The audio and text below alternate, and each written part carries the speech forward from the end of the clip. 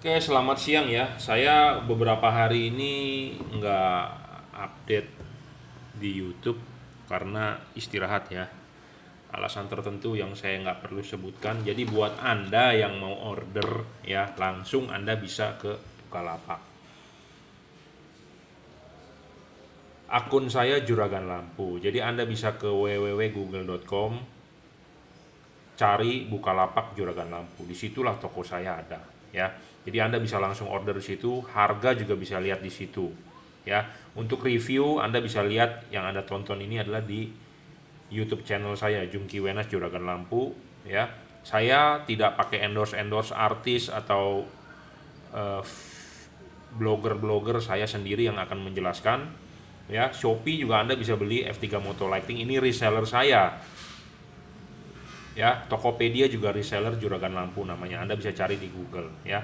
Ini reseller saya yang menangani ini juga reseller saya. Jadi kalau saya hanya memegang Bukalapak juragan lampu. Sama saja anda mau order boleh e, tapi kalau anda mau langsung dari saya ya anda order di Bukalapak. Anda bisa WhatsApp saya 0898 269 3838 ya. Saya menjual segala macam merek LED yang menurut saya oke okay, ya yang menurut saya oke, okay, yang menurut saya bagus, yang menurut saya pantas untuk dijual ya kita akan jual. Ya sebenarnya ini video udah mau turun ya. Mau turun maksudnya udah mau kita bikin sebelum saya vakum beberapa hari. Tapi karena pusing stres ya bolak balik lab. Jadi kita pending dulu. Nah ini saya mau membahas begini. Banyak mobil di Indonesia ya. Contohnya kayak Avanza Veloz seperti Mobilio RS, seperti Agya yang facelift keberapa, dia menggunakan proyektor seperti Rasterios ya. Tapi kita berbicara tidak yang terbaru karena yang terbaru sudah menggunakan LED. Kita berbicara yang tahun 2015-an lah seperti Avanza Veloz, eh, Agya, Alia, Calia kan itu Sigra kali ya, tapi nggak tahu ya Sigra ada nggak. Jadi pokoknya yang menggunakan proyektor tapi halogen seperti RAS atau Pajero Exit, Toyota Fortuner ya, bukan yang baru, bukan yang VRC tapi yang VNT Turbo. Dia menggunakan proyektor tapi masih halogen seperti Daihatsu Sirion, seperti Suzuki apa ya, R3 ya. R3-nya bukan yang XL7 ya, di atasnya Dresa. Jadi banyak mobil-mobil tersebut menggunakan seperti Yaris juga Toyota Vios mobil tersebut menggunakan proyektor tapi proyektornya masih halogen belum HID ataupun belum LED. Kenapa? Karena eh, low budget ya pabrikan low budget. Dan gampang juga untuk digantinya ya. Seperti anda punya mobil Vios Gen 3 ya lampunya D4R banyak yang udah mati nggak terang mau diganti duitnya nggak ada ya. Jadi Toyota kenapa masih pakai halogen? Karena kenapa? Orang Indonesia maunya murah ya. Spare part maunya murah. Oke kita akan membahas ya. Kita akan membahas begini ya. Sebelum saya stop bikin video sebenarnya terakhir ada order lampu ya untuk bapak siapa lupa saya nanya. Jadi dia beli sebelumnya adalah Philip Ultinon Essential G2 ya Ultinon Essential G2 nah Philip ini memang banyak yang beli sejuta umat yang beli bro. Karena kenapa? Murah. Ya Philip Extreme Ultinon yang biasa yang harganya sejutaan itu jarang dibeli. Kenapa? Karena levelnya udah level high end. Tapi anda beli itu pun nggak bakal terang. Anda beli Ultinon Essential G2 lebih terang dibandingkan yang Extreme Ultinon yang harga di atas satu juta, satu setengah, ada yang 2 juta. Di online Anda bisa cek sendiri di Topet di mana juga anda cek ada yang jualnya 2,5 2,6 dia bilang barang gua ori. Yang 1,9 palsu. Saya nggak tahu bagaimana mereka cara mendapatkan harganya bisa murah karena kalau saya hanya melalui channel sales Philip Indonesia PT TAS ya. Barang Philip ini anda bisa import sendiri dari Cina, dari Cungko ya. Extreme Ultinon pun Anda bisa import sendiri dari Cungko ya. Kalau Anda import sendiri tentu kan tidak ada keuntungan dari distributor, tentu harga lebih murah, Anda bisa megang harga sendiri. Ya, makanya kenapa harganya bervariasi. Saya pun juga ditawarkan dari supplier di Cina merek Osram, XLZ, Osram ini, Osram itu, Philip ini, Philip itu harganya jauh lebih murah dibandingkan saya beli di Philip distributor resmi. Sama seperti Anda beli handphone iPhone resmi dengan iPhone black market. Tapi sekarang katanya udah nggak bisa ya kalau handphone ya karena harus registrasi email. Tapi barang-barang begini masih bisa karena eh, bebas ya import dari Cina walaupun bukan pemegang merek Anda mau import bisa ya. Harganya tentu lebih murah dibandingkan eh, Anda beli dari distributor di Indonesia ya. Semua juga seperti itu. Anda beli iPhone di iBox dengan Anda beli iPhone black market kan harganya mungkin beda puluhan juta ya. 5 juta mau, mau kali ya saya nggak tahu sih. Ya. Jadi kalau Anda mau beli Philip, Anda beli Ultinon Essential G2. Harganya lebih murah, cuma 600 sampai 700 ribu dan lebih terang. Karena dia udah generasi kedua. Anda beli Philip Extreme Ultinon yang satu setengah dua juta mendingan anda nggak usah beli. Anda nggak usah beli. Anda simpan duit anda. Karena kenapa? Saya ngomong apa adanya. Nggak bakal terang. Ya. Kalau anda boleh percaya omongan saya anda anda amini kalau anda tidak percaya nggak masalah karena saya tidak pernah memaksa ya.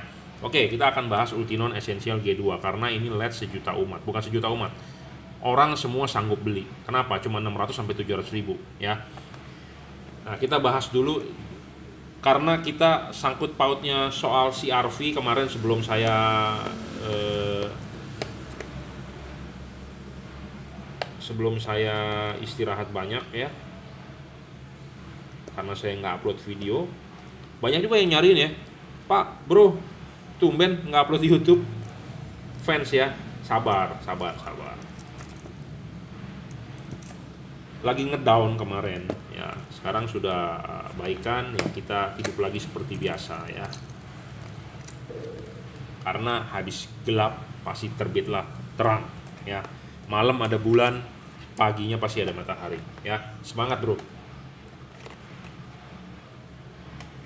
harus semangat ya jadi saya mau mereview begini ya jadi bohlam LED itu kategori. Jadi ini gini dulu, saya bilang ini ini asli ya. Kenapa? Tadi barusan saya buka segelnya dan ini bisa digosok. Saya juga nggak pernah gosok. E, bagaimana ini registrasinya? Anda tinggal scan barcode. Saya juga nggak begitu paham. Anda bisa sendiri. Tapi ini pasti barang original dari PT Tas ya, distributor tunggal Philip di Indonesia. Nah kita akan coba ya. E, syarat LED bagus dulu kita kita deskripsikan. Syarat LED bagus watt dan luxnya gede. Adjustable. Ya. Watt dan luxnya gede stabil. Jadi wattnya udah gede luxnya udah gede harus stabil nggak boleh ngedrop. Jadi istilahnya kalau anda udah berdiri stabil. Jangan baru berdiri gitu ya. Jadi maksud stabil. Watt dan luxnya gede stabil. Ketiga adjustable. Adjustable itu artinya bisa disetting ya bisa disetel. Keempat serviceable itu bonus. Syarat kelima bayangan gelap. Bayangan gelap. Buat anda yang belum paham apa itu bayangan gelap kita akan jabarkan ya. Bayangan gelap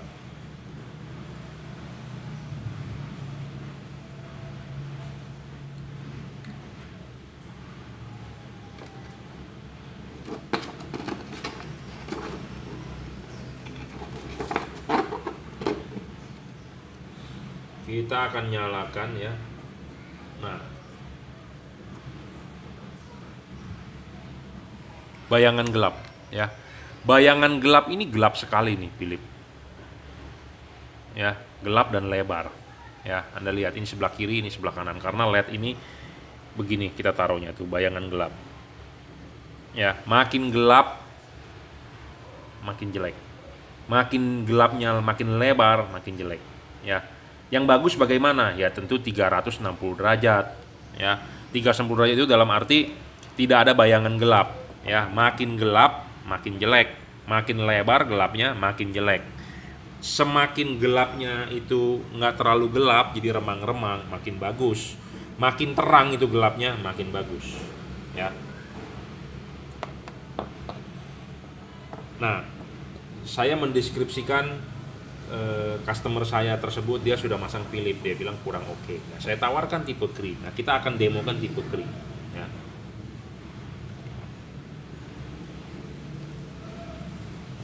nah tipe kri anda lihat. Ya. Bayangan gelapnya terang. Tuh ya. Bayangan gelapnya terang ya. Tidak terlalu gelap. Itu bagus bro ya. Bayangan gelapnya terang. Itu yang kita penting. Kalau bisa semuanya terang, ya. Makin terang makin bagus, makin sempit makin bagus, ya. Nah, syarat tambahan menurut saya ya anda boleh tambahkan sendiri tidak boleh mengganggu radio karena banyak sekali sekarang komplainan lampu LED saya pasang lampu LED audio saya terganggu radio saya terganggu ya interferensi istilahnya jadi dia tidak standar CE compatible European atau FCC gelombang radio ya. Makanya kenapa kalau anda lihat handphone atau peralatan elektronik anda ada CE kalau handphone CE 168 kenapa saya tahu CE 168 karena saya dari anak teknik elektro. Teknik elektro komunikasi waktu di kuliah kita kalau mau, mau ada ada pelajaran atau membuat alat ya harus kompatibel European. Apa itu kompatibel European? Itu harus hidup bisa hidup berdampingan. Jadi tidak mengganggu. Seperti led lednya nyala nggak boleh ganggu radio. Artinya kalau diganggu radio dia tidak CE tidak kompatibel European. Jadi tidak sesuai standar di Eropa. Kalau di Amerika FCC kalau untuk transportasi mungkin DOT ya Departemen of Transportation tapi kan ini barang elektronik jadi harus standar CE mungkin kalau di Indonesia kasarnya adalah SNI tapi SNI tidak mengatur itu. Mungkin yang yang yang tahu SNI mungkin helm lah istilahnya ya. Saya nggak tahu ada nggak SNI yang mengatur e, tentang itu. Tapi kalau kalau standar Eropa dia CE ya compatible European. Nah di Philip ini sendiri juga sebenarnya ini banyak nih logo-logo begini. ECE R37 dia tidak dia tidak kompatibel nih. Di, ini di ini disilang. Nah terus ini not for use or public. Kecil banget bro tulisannya. Not for use on public road except for Japan. Jadi LED ini tidak boleh dipakai di jalanan raya ya kecuali buat Jepang. Tuh ada. Jadi ini bisa menyilaukan ya.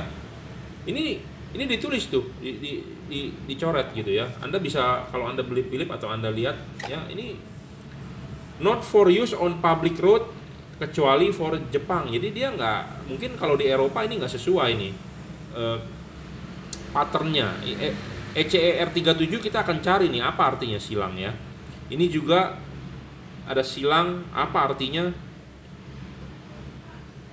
Nah kalau ini oke okay, ini oke okay, ini oke. Okay. mungkin kalau ini reusable ya reusable. Jadi artinya green green apa sih? Seperti botol aqua ades ada lambang begini nih. Jadi reuse apa recycle. Jadi mungkin bisa dilebur ulang. Nah ini nggak tahu segitiga ini apa ini nggak tahu artinya apa. E ini ECER 373 tidak ini juga dicoret rumah dicoret nggak ngerti berarti bukan bolam buat bolam rumah kali maksudnya ya Nah, ini juga dicoret ya. Jadi ini ada standar masing-masing ya. Jadi Anda harus tahu. Kalau di Indonesia mau pakai lampu apa pun, mau pakai light bar pun atau mau pakai apa, peraturannya bebas ya. Nggak seperti di negara luar ya. Anda bisa ditilang. Tapi di Jepang juga ketat ya, tapi saya banyak sering lihat di Jepang itu orang mobil modif ceper-ceper aja boleh ya. Kalau di Eropa kayaknya modif velg aja anda kena tilang ya. Nah oke okay, kita akan coba ya. Kemarin Philip ini bayangan gelapnya besar. Kenapa bayangan gelap itu merugikan ya? LED ini kan harus dipasang di proyektor ini dia begini posisinya tegak lurus ya. Tegak lurus. Sedangkan di mana-mana yang paling penting itu krusial itu bowl mangkok mangkok itu di bagian atas Nah, sedangkan kalau bagian atasnya gelap, sinar yang disorotkan ke jalan padatnya berkurang. Ngerti nggak? Ini proyektor. Bagian sini yang penting. Bagian atas ini penting nih. Ya. Jadi proyektor itu bolnya ya, bagian top. Ini ada tulisan top nih. Bagian sini itu penting. Nih. Ini tuh bagian yang penting. ya ini bagian penting nih kenapa penting anda lihat deh. Anda beli-beli proyektor aftermarket atau proyektor apa bolnya sering kena di bagian atas. Reflektor mobil anda kalau anda pakai bola watt gede atau anda pakai HID pasti yang kena di atas. Butek rusak gosong. Bintik-bintik keriputan itu rusak di atas. Nah ini penting bagian atas. Nah sedangkan kalau LED itu bagian gelapnya besar dan gelap sekali di bagian atas, tentu rugi. Rugi. Kenapa rugi? Karena tidak ada cahaya di situ. Padahal reflektor pemantul itu di atas. Bawah nggak guna, bro. Nggak guna. Semua reflektor bagian bawah nggak guna. Nggak percaya. Nggak percaya, Anda tutup aja reflektor Anda di bawah pakai kertas. Terus Anda sorotin sinar. Di bawah tidak ada guna. Atas, bro.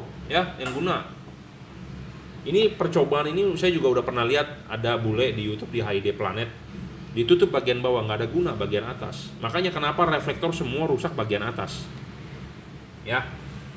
Jadi bag, sinar makin gelap makin merugikan anda. Makin merugikan anda lah pokoknya. Jadi sinarnya yang bagian gelapnya bayangan gelapnya makin gelap merugikan anda. Makin lebar juga merugikan anda. Jadi harus setipis mungkin harus gelapnya seminimal mungkin. Ya. Itu syarat bolam bagus ya. Dan ini tidak bisa adjustable ya. Adjustable-nya nggak bisa. Jadi anda lihat ini ada yang di sini. Ada yang di sini. Tapi ada yang bukan ininya di sini. Jadi lubang masuknya kan kaki ada tiga. Ini kaki utama ini kaki kiri ini kaki kanan misalnya. Kalau ini ininya di sini kaki kaki tengahnya kaki tengah. Jadi masuknya begini. Ada yang ininya bukan di sini. Misalnya dia kalau ini kita ngomong di arah jam 10 jam 11 ada mungkin yang di arah jam 1 jam 2 tapi kalau anda beli yang di tipe di sini ini masuk bisa. Bisa. Tapi kalau anda yang beli tipe di sini nanti dia akan miring. Jadi tidak tidak tegak lurus. Itu fokusnya akan lebih parah. Ya jadi anda harus perhatikan kalau anda beli led yang tidak bisa disetel karena dia nggak bisa setel. Tapi kalau anda bisa beli led bisa disetel makanya ada syarat ketiga. Full adjustable. Ini enak. Anda bisa putar sendiri ininya. Putar sendiri. Sedangkan Philip putarnya mungkin hanya jarak mainnya dikit sekali. Tuh dia bisa diputar cuma sedikit.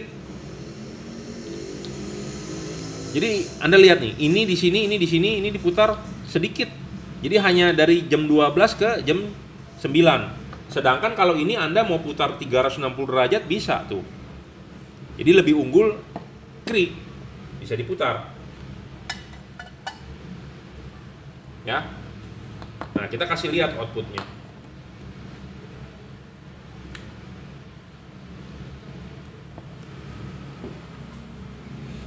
Ya. Anda lihat langsung ke tembok. Lihat. Kelihatan di tembok apa yang jelek menurut Anda? Ya, di sininya nih gelap nih. Kenapa? Karena batang. Tuh. Gelap kan? Karena sinarnya gelap tadi, bayangan gelapnya banyak. Jadi gelap. Ya. Ini di jalan di jalan akan ada coakan nanti seperti tiang, seperti salib, seperti tongkat kosong. Bagi orang yang merasa nggak terganggu ya nggak apa-apa. Tapi kalau saya terganggu, jadi kayaknya kok di jalan ada ada feeling kok ada apa gitu ya. Nah itu. Nah di sini juga ada urat, urat nih, ya, ya. Nah ini output kiri kanannya kita tarik tuh seperti gitu ya oke? Sekarang kita ganti pro proyektornya.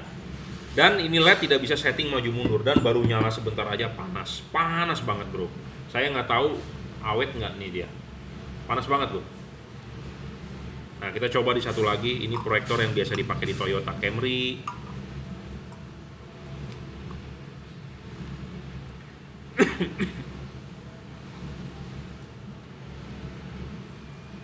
ya sama.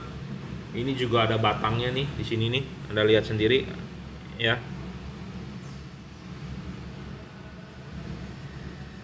Ya ada batang nih. Nih sini nih bagian gelap. Jadi bentuknya V. Jadi nanti di jalan tuh ada V kosong ya. Jadi pemilihan LED itu sebenarnya penting ya. Jadi buat anda yang nggak paham pasti akan anda akan beli itu Philip. Kenapa? Karena harganya murah sejuta umat saya udah bilang dari awal murah dikira bagus. Wah mereknya Philip. Padahal kenyataannya banyak orang yang nggak tahu sebenarnya. Orang banyak orang nggak tahu ya. Banyak orang nggak tahu oh bagus-bagus saja. Oh saya pakai bagus kok pak. Iya karena bapak nggak tahu karena belum membandingkan dengan yang ada yang lebih bagus. Itu sepertinya ya. Nah sekarang di video ini adalah maksud saya membuat video ini mereview untuk memberikan perbedaannya. Jadi sebelum beli pikir dulu gitu ya. Nah ini. Nah ininya dia lebih lebih hilang ya. Nggak ada. Dan ini keunggulan tipe ini ya bisa setel fokus. Ini bisa diputar tuh diputar ya bisa diputar. Nah ini bisa dimaju mundurkan. Ini kalau dimundurin tuh lihat. Kalau ini dimundurin ininya melebar. Ininya melebar ya. Ininya melebar. Nah ini saya dorong maju nih anda lihat ya menyempit ya. Kalau kita tarik mundur melebar ya melebar. Melebarnya kelihatan di tembok sedikit karena ini jaraknya cuma 2 meter tapi prakteknya kalau di jalanan itu akan lebih berefek. Mundur satu mili bisa 3 4 5 meter itu ya. Seperti tadi bayangan gelap ini. Bayangan gelap ini. Kelihatan di sini kecil nanti di jalan gede V-nya bolong ya sama seperti anda OHP OHP apa yang buat presentasi anda tarik mundur itu OHP-nya ke layar, dia akan membesarkan. Anda dorong maju, dia mengecil. Ya, jadi efeknya akan besar kalau dipraktekin di jalan. Akan besar bro, pasti. Ya,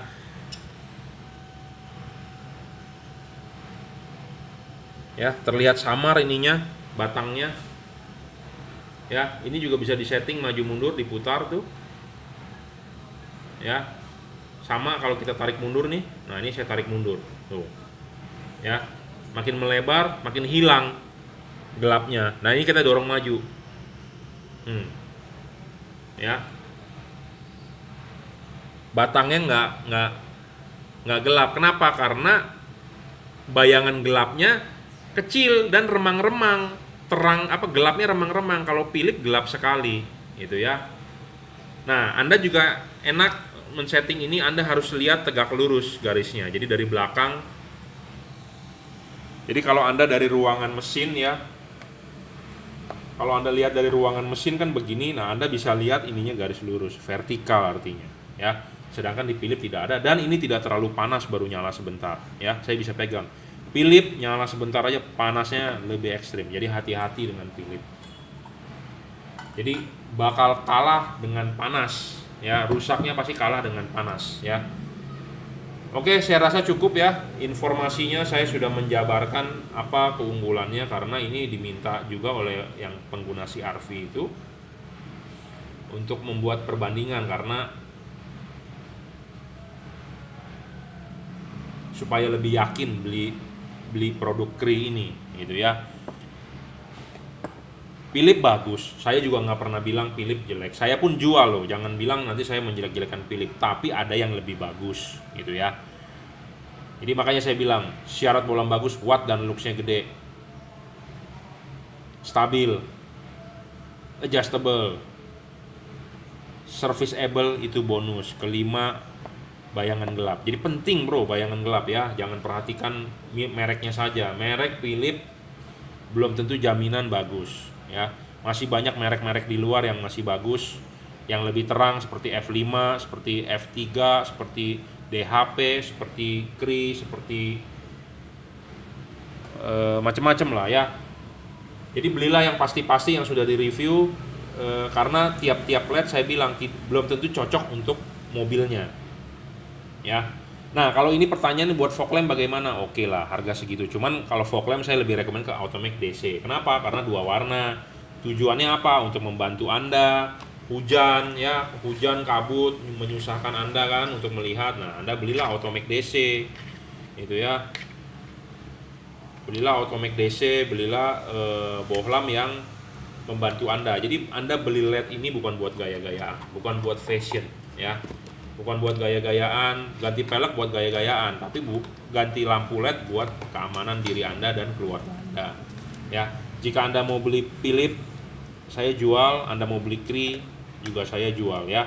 Semoga video saya ini mencerahkan Anda. Saya tidak menjelek-jelekan Philip, saya pun jual, Kri pun saya jual ya. Jadi eh, sebagai bahan pertimbangan Anda apa kelemahan, apa kelebihannya ya. Jadi syaratnya adalah bayangan gelap itu penting. Watt dan lux watt dan lux perlu, makanya watt dan lux perlu tapi kalau watt dan luxnya gede, tapi kalau bayangan gelapnya juga gede, watt dan luxnya gede, bayangan gelapnya gede.